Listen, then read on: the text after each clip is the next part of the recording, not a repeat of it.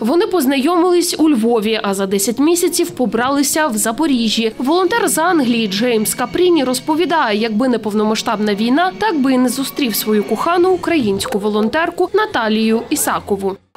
Підтверджується взаємна згода вносити спільне прізвище Капріні. Коли почалась війна, я вивезла своїх дітей до Львову і там зустріла Джиммі. I've traveled a little bit all over the world. And Я подорожував по світу, і коли побачив, що тут почалася повномасштабна війна, тоді я вирішив прийти сюди допомагати. Наталія каже, коли побачила Джеймса, одразу закохалася. Він мені зробив пропозицію на третій день нашого знайомства, але я тоді все, все серйозно не, не прийняла. Я думала, що він шуткує. У нас дуже багато спільного, як виявилося. Хоч ми з різних країн, але дуже багато е, спільного. Він дуже хороший, я його люблю.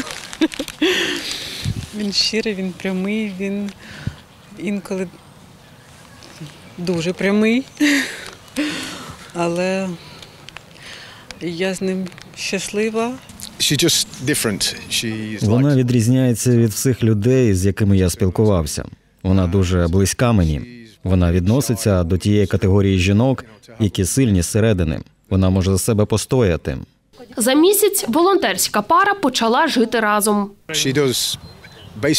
Вона піклується за мене. Вона мені дуже смачно готує і допомагає зі всім, що мені тут треба. Я чекав, коли це буде.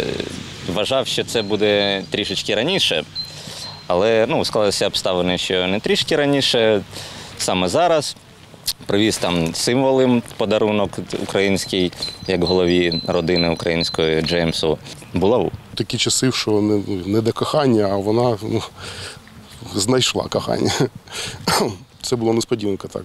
Ніколи тут не був і тут і сюди приїхав. Тобто це, це такий випадок один на декілька мільйонів, мабуть. Джеймс такий хлопець, що справжній козак. Після офіційної церемонії пара обмінялась національними прапорами. Сенс, смисл ви вкладаєте символу цього цей обмін. Об'єднання Британії з Україною. Він тут для допомоги Україні. Я дуже йому особисто вдячна. Я думаю, що багато, багато хто теж йому вдячний. І солдати, і цивільні. Я дуже щаслива. Я дуже щасливий. Ми занадто довго до цього йшли, і нарешті нам це вдалося. Привіт, місіс Капріні. Дар'я Пасічник, Андрій Варіонов, Суспільне новини, Запоріжжя.